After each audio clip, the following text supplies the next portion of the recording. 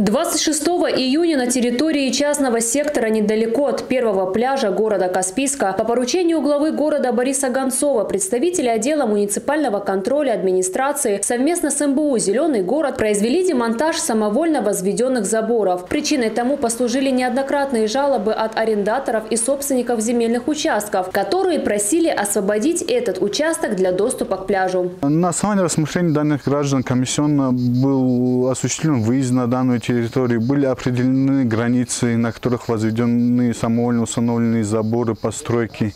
После чего было э, издано распоряжение главы городского округа города Каспийск о демонтаже данных э, построек.